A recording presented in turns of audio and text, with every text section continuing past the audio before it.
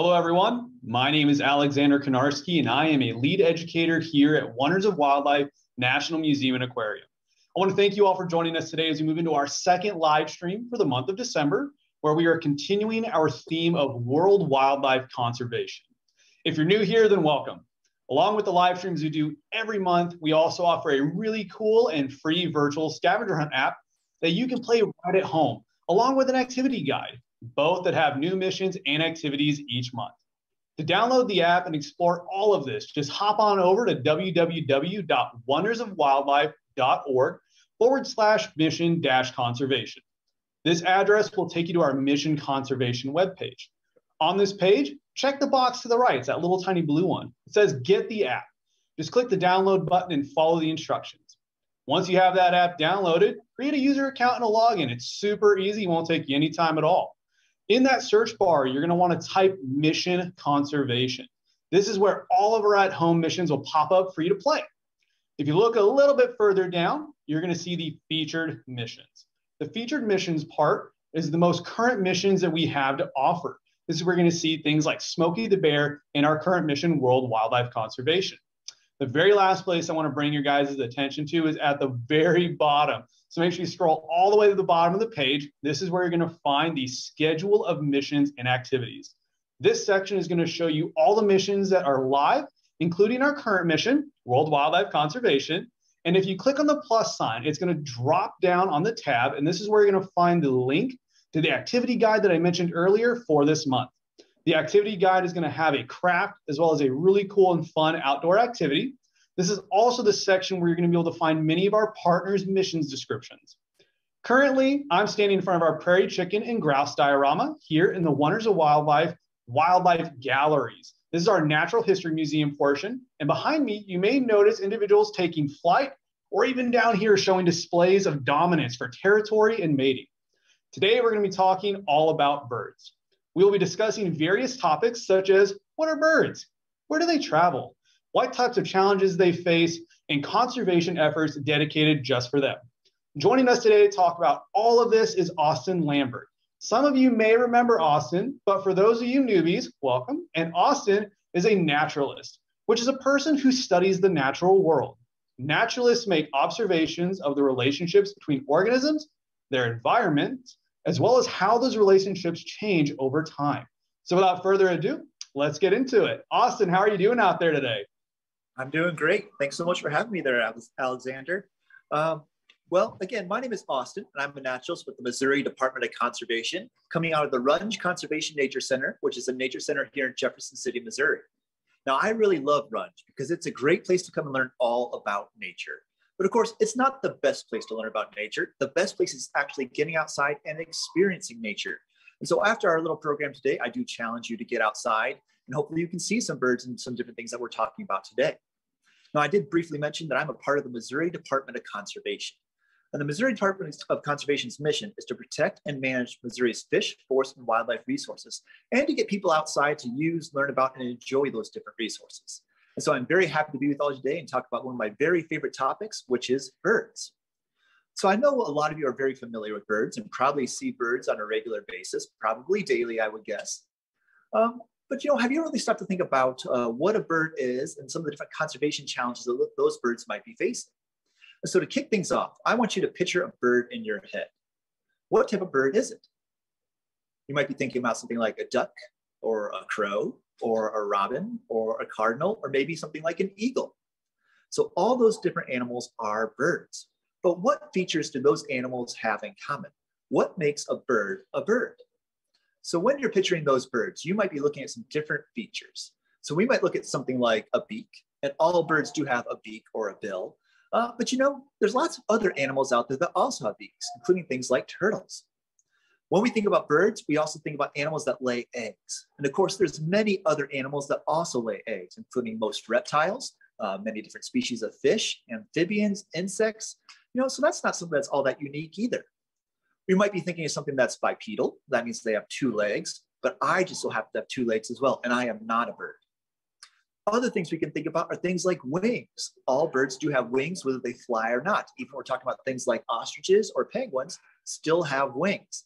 Um, but you know, bats have wings, insects have wings. So again, something that's not all that unique to birds.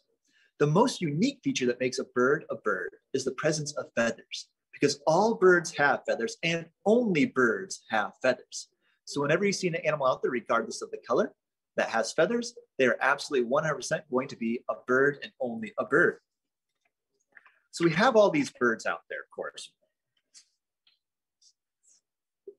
Um, when we're looking at different species of birds, of course, there's many different types. We mentioned ducks and eagles and a lot of these different types of birds, but just here in Missouri alone, there are over 400 species of birds that we can find uh, that have been in Missouri at least at one point in time. During the typical year, we might find about 330 different species, and we have about 170 different species that breed here in the state of Missouri. In North America, we have over 900 species of birds that we could possibly find. And when you look north of Mexico, we have closer to 2,000 species that you can potentially find. So when I talk about North America originally, we're talking about north of Mexico. But if you include Mexico, our diversity goes up quite a bit. The smallest bird that we have in Missouri is the ruby-throated hummingbird, which is a little bit smaller than my thumb and weighs a little bit more than a penny. The largest bird that we have in Missouri is a trumpeter swan, and they can weigh up to 30 pounds, so a pretty good sized bird. The most plentiful bird in the world is the red-billed quelea, uh, which is a type of weaver that we find living in Africa, sub-Saharan Africa. And there's about 1.5 billion individual uh, queleas, red-billed queleas out there in the world. But if we looked at the absolute most plentiful bird, then we don't want to look at the wild anymore. We look at our very own domestic chicken. And there's about 23 billion chickens out there in the world, which is about three for every person that's out there. So there's quite a few different birds, especially a lot of those chickens. And when we look at the worldwide, Excuse uh, we look worldwide, there's about 10,000 different species of birds out there in the world. So many, many different birds. So we have all these different birds. Where can we find these birds? Well, there's lots of different places that we can potentially look in order to find birds. Uh, we might look in like a forest. We could potentially look in something like uh, prairie area. Uh, we might also go to like a wetland in order to find those birds. And so you can go to some very exotic locations in order to find birds, but you can even go to your very own backyard, which is one of the very best places to go out and look for birds. And I love for looking at looking at birds in my very own backyard. But you know, even those birds that I find in my backyard are not just my backyard birds. Because birds are so mobile, they can fly around to a variety of different places. And so some of the birds that I see in my yard, including things like the indigo bunting, which is this bright blue colored bird up here, um, not only is it my yard, but also migrates down to Central and, and South America. And so they fly quite a. So even when I'm looking at the birds in my yard and I'm, I'm, I'm thinking about these birds, I also need to consider all the other places that they also live. So if I consider them in my yard, that's great. But really, this is a global thing, which I think fits very well into our worldwide uh, conservation. And so we have all these birds and learning about them, I think is a, lot of fun because they are fantastic creatures. Uh, but you know, there's a reason that we're talking about them. And that's because many bird populations are not doing very well. There's a study that came out a couple years ago uh, that took some data starting in the 1970s until today, where they were going out there and they were doing surveys of birds. And they found that just in, in uh, the United States and Canada, there's about 2.9 billion fewer birds today than there was in 1970 which is quite a drop.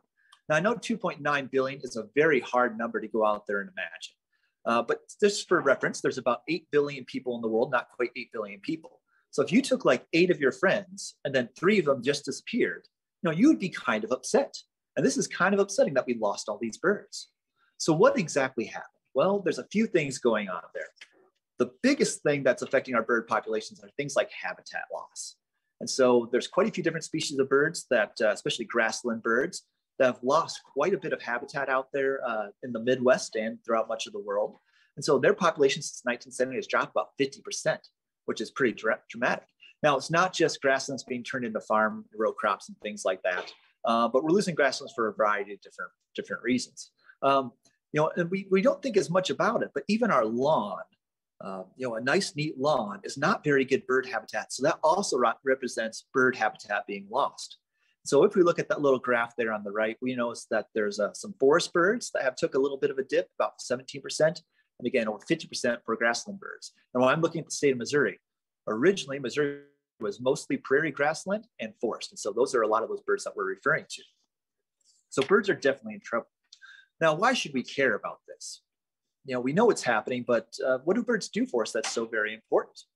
Well, one thing that they offer is ecosystem services. And so they're going out there and they are actually doing things for free that benefit us. Uh, one great example is that barn swallow, which we have on the upper left-hand side there. And that barn swallow can eat 60 insects an hour and over 800 insects during the course of a day. And that's insects including things like mosquitoes. So I really, really love barn swallows. We can also look at indicator species. Those species that uh, when they are present tell us that the habitat is fairly healthy. So Swainson's warbler is a very good example of that because they like to live in some of our giant cane areas that we have down in southern Missouri. And so we find those species down in those canes. We know that that species is being present uh, tells us that the habitat's fairly healthy. Uh, it's also very good for tourism. So we don't have a whole lot of greater prairie chickens left in the state of Missouri, and people are willing to travel uh, and pay money to see them. Um, sometimes birds can be a little wacky like that, but that's how passionate they are about birds, just like people can be passionate about so many other things. Uh, an example that hits a little bit closer to home is there's that common red redpoll, which is uh, kind of in the lower left-hand side of our screen there. And that common red redpoll was actually taken, that picture was actually taken at my home bird feeders. And so that's a fairly rare species for the state of Missouri. And I had people calling me up and uh, texting me and sending me emails wondering if they can come visit my yard to come look at that bird. And I hosted a couple dozen people out there to come see that bird. And, and luckily, most of them were successful. But they're willing to travel across the state. And in doing so, they're spending money. They're buying uh, food locally and doing uh, different things like that. So, very important for tourism. There's also a huge cultural, artistic, and scientific significance to this as well. And so, you know, you, we've heard about like the white storks uh, dropping off uh, uh, babies, uh, which is a, a, something that's a legend or myth that started out, out in Europe. And uh, so we don't have white storks in North America, but we're all very familiar with that. Uh, and we can even look at things like, again, more towards science. So we look at how to make planes go faster. We look at things like the peregrine falcon, the way that it's built, being the fastest bird in the world, especially designed for going very, very quickly. So that can be used for some type of inspiration for making those planes go faster. Birds are also very important for, uh, for us to eat. So we talked about the, uh, the 23 billion chickens that are out there. Uh, most of those are food chickens, but even some more wild birds, things like a wild turkey, a variety of waterfowl can also be eaten. And then I also think that we should care about birds just because they're a form of art and nature's diversity. You know, they're so very beautiful to go out there and look at. Uh, and, and with so many different species of birds, they really, really do show um, how all this uh, evolution over time has worked and, and giving us all these different species. So lots of reasons that we should care. So now let's say that we do care. Uh, what can we do to help? What are some steps that we can take uh, to go out there and help these birds? Well, there's several very simple steps out there. And uh, some of the steps that we can do, we can do things like keeping cats indoors. Every year, about 2.6 billion birds are killed by cats, which again is quite a few birds. There's about 110 feral cats uh, both in the United States and in Canada. So they're going out there and do, they're doing a lot of damage to our environment. Uh, not only are they going out there and killing birds, but actually having those outdoor cats is not very healthy for them either. Typically, outdoor cats have very short lifespans because things are so very dangerous. They get getting fights with their cats, they get eaten by a variety of things. Um, so by keeping cats indoors, we're not only protecting birds, but we're also protecting the pet cats that we, we care so much about. Now, if your cat really is dying to get outside, because I understand that some cats might enjoy that uh, outside time, you might look into something like a catio, which is a specially built little uh, ex- uh, enclosure for cats where you can kind of decorate it up like a little play- playground for cats. You can stick them out there, and then you're protecting birds, but you're also protecting your cats. We can also avoid things like single use plastics. And so when we're going out there and using straws and things like that, you know, those aren't things that we are, are absolutely necessary in most cases. So uh, avoid using single-use plastics. It's estimated there's about one point, um, I'm sorry, I lost my estimation there, but there's quite a few plastics out there and especially affects things like seabirds. And so seabirds might fly around. They might see like a shiny um, plastic spoon or something like that floating in the ocean, fly down thinking it's a fish. And that can actually choke up their crop. So they get too full of that plastic where they can't eat everything, anything else, and they end up starving to death. So avoid single-use plastics. We can also do things to make windows and lighting a little bit safer for birds. So a lot of us might be familiar with birds flying into windows. It's estimated that approximately 1. billion birds die each year from striking a window. And so we can do things to cut down on the reflection of the window. And so if we look at that lower right-hand photo, we can see all those little tiny uh, cube-shaped stickers that are across that window. And that's to break down on that reflection so birds don't think that the window is the sky when they see it at just the right angle, or they can't see from one window, look through the house and see out the under window and think it's a safe place to, to go out and uh, to fly through. So break up that outline. Now, those decals, usually you can see through those pretty easily and still see outside, so you can check out your birds. Uh, but even things like closing the shades helps break down on that reflection, so you're less likely to have some casualties um, from bird strikes. And same goes for lighting. As birds migrate, those lights that shine out your windows, your patio lights kind of throw off their migration. Just shut the patio lights off or get an automatic uh, light that when somebody walks by, it turns on. So it's only on when it's needed um, and shut it off when it's not. And same thing, close those blinds at night to help conserve all the light inside your house without it leaking out. So make windows and, and lighting bird safe. And we can also be a bird friendly consumer. And so if you're a coffee drinker, go out there and drink bird friendly coffee, uh, which is coffee that's grown in such a way that allows for greater habitat uh, to be down in, in, Central and South America where most co- coffee is grown. Uh, but even things like bird friendly beef. So just be conscientious what you're buying and how that might affect birds, not both locally and throughout the world. Other things that we can do. We can also do things like avoid uh, excessive use of pesticides. And so go out there and use it in a very targeted fashion. About 1 billion pounds of pesticides is applied to the US each year. Um, of course, that's lethal to insects, which is the whole point of putting the pesticide out there. But in many cases, that pesticide is directly lethal to birds as well. And so use that a little bit more sparingly or more, again, more targeted fashion. So those are all ways that birds might end up dying. We might keep them from dying. But of course, the major problem was habitat loss. So something else we can do is we can create habitat. There's about 40 million acres of lawn out there in the United States, which is a pretty large area, bigger than any national park. If we were to go out there and even conserve even half of our lawn or a quarter of our lawn, we'd be making a huge difference for birds. So go out there and plant native plants in your yard, kind of reduce the area that you might have that's uh, dedicated to lawn and just kind of generally be lazy. lazy. Don't mow quite so often. Uh, and again, those native plants are very, very, very important for birds because our insects that are native to the United States and Missouri uh, have evolved with those native plants. And so there was a very interesting study done by uh, Doug Tallamy, who is a, uh, an entomologist at the University of Delaware, where he walked around one oak tree and he counted all the different caterpillar species that he can find at head height and he counted 19 different species, uh, 410 individuals of those 19 different species on an oak tree. He did the same thing on a non-native Bradford pear, and he found one caterpillar of one uh, individual species. And so there's a lot more caterpillars on that native uh, plant, which is very important because if we look at something like a chickadee, which is that bird that's on the upper left-hand side of our screen there, a clutch of chickadees, which is usually about three to four chickadees, needs about 6,000 to 9,000 caterpillars in order just to fledge the nest. That takes about 18 days for them to get out of that nest, and they need about six to 9,000 caterpillars during that time. So we need a lot of those insects, and those insects are directly tied to those native plants. So planting native plants, reducing lawn, and being a little bit lazier, not mowing a little bit less. Uh, we can also do things like support conservation agencies. And I don't just mean the Missouri Department of Conservation, but even nonprofits, things like uh, the Audubon Society, um, uh, the Nature Conservancy, all sorts of different, uh, in, in, a little bit more locally, things like uh, Missouri Prairie Foundation here in, here in Missouri. Uh, all, those, all those agencies go out there, and if they're adding habitat that is helping birds, or they can be conserving birds directly. So support your conservation, because conservation does work. If we look at the lower right-hand side, since the 1970s, although we have lost quite a few birds, during that same time, we've been conserving waterfowl, raptors, and turkeys, and their populations have flourished. So conservation definitely does work.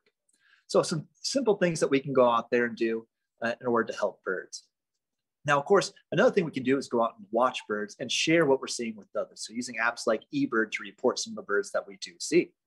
But since we're talking about watching birds, I think what we're going to do next is we're going to switch over and we're actually going to try and watch some birds.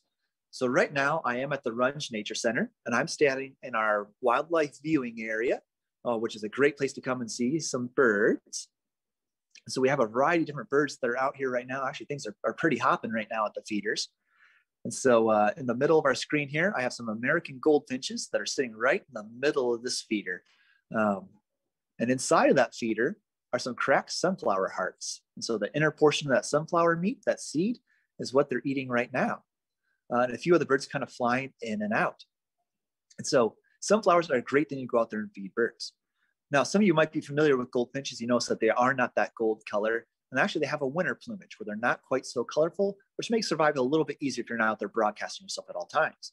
The birds that are kind of flying in and out of there and keep on taking off, and one just landed and took off, is a tufted titmouse. And so a tufted titmouse might look a little bit like a cardinal because it has a little crest on the back of its head, but it's a very, very different type of bird, much more related to a chickadee, which is the bird that just flew in and flew out there real quick. And things are happening so fast, which is fantastic. So a few more American goldfinches and another titmouse on top there flying around. Well, another bird that I want to point out real quick because they're just starting to take off now and kind of walk out of here are these birds right here, which are birds that you don't typically see at your backyard bird feeder. Uh, but we have some wild turkeys that are walking through the area, uh, kind of taking off. Um, and so we had seven male turkeys out here for just a, a moment ago that are all kind of moving through and uh, decide that they've had enough of us for today. Uh, but a very interesting bird, um, one I think that a lot of us might be familiar with, even though we don't maybe see it all that often. Yeah. So again, lots of birds, another tufted titmouse moving in there. We can see that little crest. Move over this closer feeder here where we might be able to see these birds just a little bit better. So tufted titmouse on the right, we can see that crest, chickadee on the left. And so even though they do look different, they are very closely related. Like if you were to go through and pull off all the feathers, which is something that you don't want to do, of course, because that's very bad for the bird. We notice that their eyes are relatively the same size. They have the same uh, shaped beak, and they have very, very large feet. Uh, and also their tail and wing feathers are in proportion to each other as well. So if you kind of take away all the colors, they do look very, very similar. And so those birds are in the same, in the same family, very, very closely related. We got some more stuff happening over here. Another titmouse moving in on those goldfinches. Another chickadee flying in. And so some of the things that you can offer in your backyard in order to attract birds, we already mentioned the sunflower seeds. So cracked sunflower seeds work very well, especially for things like finches, but you can try whole sunflower seeds for not only goldfinches, but a variety of other birds. Uh, in fact, if I only had to offer one type of food for birds to attract them to my yard, um, I would recommend black oil sunflower seeds, which work very, very well. Also in that little tray feeder where all those birds are, are jumping in there, I have some live mealworms which are really enticing for a lot of birds. Once they see those, they kind of get uh, uh, get pretty excited to see those, and they'll they'll fly right in whenever they see them. Uh, because it's wintertime, there's not a whole lot of insect activity out there, and insects are very full of protein uh, and lots of fats, which are things that they need this time of year. So good things to offer. Uh, we can also offer things like suet. And so in this square field that's kind of at the bottom of your screen, there's a suet cake inside of there. And a suet is something that's very, oh, we just had a nuthatch moving. I'm going to come back up here. So that's a white-breasted nuthatch that just came in, which is a very interesting bird. They have a long kind of needle-like beak, which is very good for pulling uh, insects out from between bark. And nuthatches are really famous for the ability to climb headfirst down a tree. And so a lot of birds, like things like woodpeckers, when they're searching for insects, they typically start at the base of a tree and they work their way up. So they're looking at insects from one direction. And that white-breasted nuthatch is looking from insects from a different perspective. So he's more likely to find insects in a place that other birds might not be able to. So especially large feet are holding onto that tree as they go down, down head first. Uh, but I think we were talking about suet. And again, suet is a great way to go out there and uh, attract some birds because it's very high in fat, which is something that birds especially are, are desiring during the wintertime. And then I also like to offer some peanuts. And there's a, a peanut feeder right over here and it's a little bit quiet at the moment because there's so many other types of foods that are being offered. But our turkeys, which are just starting to move back right now, absolutely love peanuts because they're very, again, very high in fats and very high in proteins. Where's that turkey? There he is. So we have about seven toms that are kind of running around here. But real quick, they're coming back in. I want to pull back up here because we have Missouri state bird in the middle of our feeder there. So we have a chickadee in the front and we have an eastern bluebird in the back. And bluebirds also love to go after those mealworms and they love suet. So there's all sorts of really good things in that feeder uh, for them because there's some, some suet pellets in there as well as the mealworms and the sunflower hearts. So I think they're very happy with that. And so a, a uh, if you look very carefully at a bluebird, you notice the very large eye, the kind of plump body, that insect uh, catching bill. And so they're actually a type of, of thrush, which includes things like robins. And so if you can just kind of look at the general shape, the eyes, the feet, the bill, those types of things will tell you what family it belongs to. And then you can look at colors and things like that to figure out the individual species. So when we're identifying birds, things like size, shape uh, of both the bird and the individual parts is far more important than the color initially. And then you kind of lean on color a little bit more as you, as you kind of narrow down your options of what bird it might be. So another turkey here. We also uh, have another little critter that's not quite a bird, but still a lot of fun to watch. Uh, back here on this log, there's an eastern gray squirrel there. And we took some pumpkins that we had out from uh, fall decorations and threw them out there. And he's crawling in, inside and pulling out seeds, and he's eating all the seeds out of the pumpkins. So also a lot of fun to watch these critters as they're as they're uh, kind of jumping around our feeders and uh, uh, sometimes emptying them, but that's, a, that's okay. They're, they're welcome animals here at the Nature Center. So we can see a couple turkeys eating some peanuts there. Another great thing about watching birds at the bird feeders, typically when I'm out in the woods or the wetlands or the prairies trying to look at birds, um, I'm trying to kind of run around and see as many different types of birds as I can possibly see. So I'm kind of running myself crazy, just going around, just trying to see a bird. Usually when I see a bird, I go, oh, great. And I'll check it off. I'll say, oh, yeah, I found that uh, American goldfinch in the prairie, and I'll check it off. And then I'll go try and find the next species. Typically, when I'm looking at my bird feeder, that's a really good time to go out there and really study their behavior. So when we're watching these turkeys feed, you might notice they have a particular type of scratching pattern that they do, or they'll scratch back with both feet, uh, kind of taking a step backward as they do that, and then they'll feed forward into the area, the path of the, the food that they just scratched. So it's kind of on, on alert, it looks like. I'm very glad these guys decided to make a, make a little appearance there. And so, of course, we could watch birds at the bird feeder here all day. And I, I likely might after we're done with our little broadcast. Uh, but, uh, you know, there's, there's other ways that we can also go out there and look at birds uh, besides just watching birds at our backyard bird feeder, which is fantastic.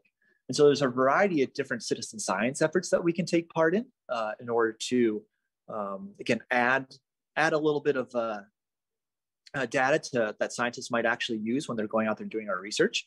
We can do things like Christmas bird counts, which are ongoing right now until January 5th. So there's a bird, Christmas bird count here in the Jefferson City area uh, this last week, and as well as one up in Columbia, which is just north of this area a little ways and people went out and they counted as many species of birds as they could find and as many individuals of those species within a 15 mile radius circle. And so they're going to do that continuously over many, many, many years. So they have a good uh, uh, frame of, of, data. So they can kind of look at how the way things were in the past and the way that uh, their things are kind of trending. Another uh, great um, count that's going on right now is Project Feeder Watch. So this is a count that you can you guys can do at home. Um, it's one that is, is uh, through the Cornell Lab of Ornithology, as well as several other organizations, where you go out there and you just count birds in your backyard. And so you choose usually two days a week and you count for at least 15 minutes during that week and count all the different individuals and different species that you see coming to your feeders. So another great one that we can we can do. And then coming up in February is the Great Backyard Bird Count, where we have several days to go out there. And again, same thing, go out there and count as many birds as you possibly can. But we can also do these things at our leisure. We can go out there and we can use things like eBird, which is a nice little app or website where you can go out there and document all the birds that you found. Uh, and even things like Merlin, which is a really great uh, app out there that not only lets you report the birds that you're finding, but also do things like uh, it helps you identify those birds. And so if you're a little bit uh, more of a more of a novice birder, which is fantastic, definitely get out there and do some birding. Merlin is a fantastic, fantastic app for you. So lots of different ways that we can get out there and conserve birds and definitely get out and enjoy and watch a lot of those birds.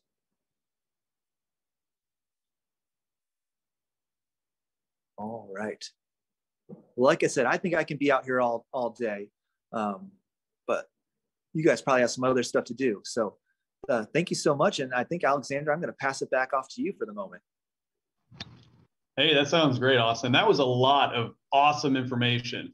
We do have like a couple minutes though, and I yeah, have sure a couple part question here I want to ask you. So yeah. while watching the you know the scope there and all the different bird feeders, I noticed that there was something going on underneath one of those. It looked kind of like this metal device at the bottom. This guy right here, huh? Yeah, can you tell us a little bit what, about what that is? Yeah, so I mentioned the squirrels that we have out here. Now, those squirrels are definitely welcome here at the Nature Center.